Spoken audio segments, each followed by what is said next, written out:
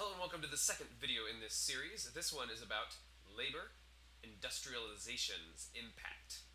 It's gonna be pretty cool. So, the big picture is agricultural economies were based on the family unit, and the Industrial Revolution had a significant impact on the structure and function of the family and its role in society. The Industrial Revolution placed new demands on the labor of men, women, and children. Workers organized labor unions to fight for improved working conditions and workers' rights. So this is an image of what the cottage industry looked like. And we're going to compare this to the factory system that emerged during the Industrial Revolution. As you can see, there's multiple generations, child, parent, grandparent, all in the same home together doing uh, work at the same time all towards the same goal because you can see that they're making this into cloth here, which they may be making into their own clothes. They're spinning the what is probably wool, and then you know getting all of the uh, the gross stuff out of the wool before it can even be spun. It's a whole process that they would do together, generally to make things for themselves. And so families used to make their own goods to use and sell, and sometimes they would do piecework for larger companies, like a shirt here, a shirt there. They would do so many shirts by the end of the week and get uh, paid for that. But the real uh, look of it was that all the family members were working together, many generations.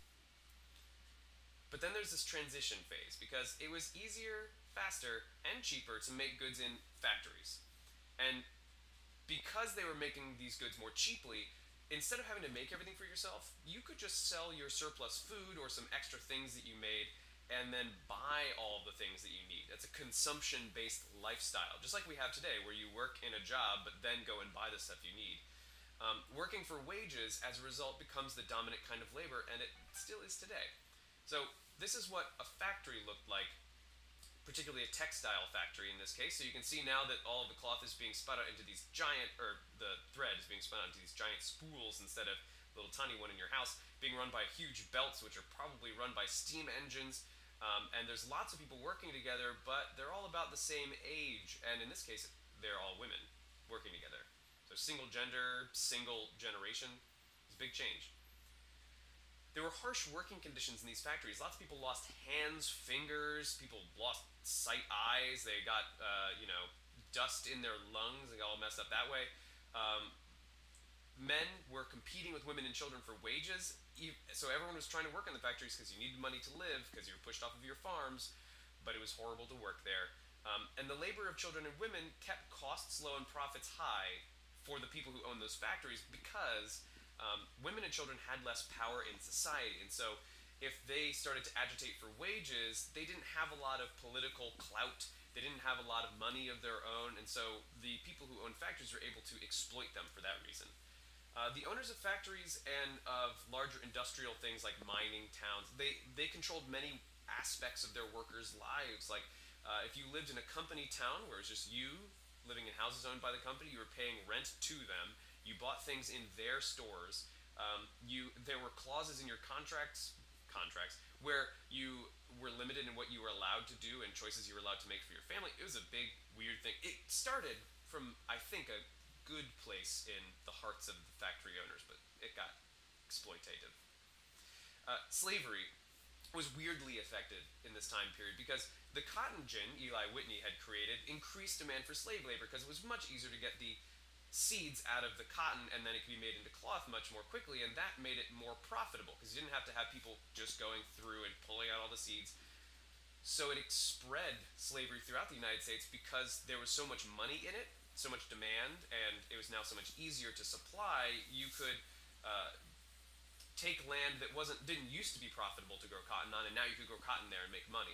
So people in the South expanded the use of slave labor really significantly. Um, but then, by the end of the Industrial Revolution, the United States and Great Britain had outlawed the slave trade and then slavery itself altogether. So clearly, there were some complex things at play that um, both increased slavery and then shut it all down. And we'll look more in depth at how that works in class.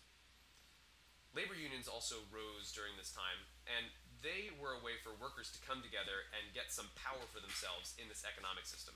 So they encouraged strikes to demand increased wages and improved working conditions. They lobbied for laws to improve the lives of workers, including women and children. Um, and they wanted workers' rights and collective bargaining between labor and management. And you see, there's this difference between labor and management. Well, a lot of times before labor unions, labor it wasn't like a whole group of guys over there all arguing with the people that own the factory. It was like individual guys who would try and start to argue, but then would get fired. Some other guy would come and go, well, that guy's being a jerk to you, owner of factory. I'm willing to work for less, and I'm not a jerk.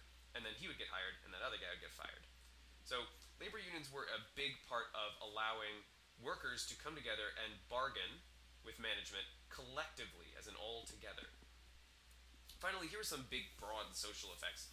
Uh, there were reforms that ended child labor, and the push to end child labor was led by women, and they entered the political process, some of them for the first time. It changed the role of women in society.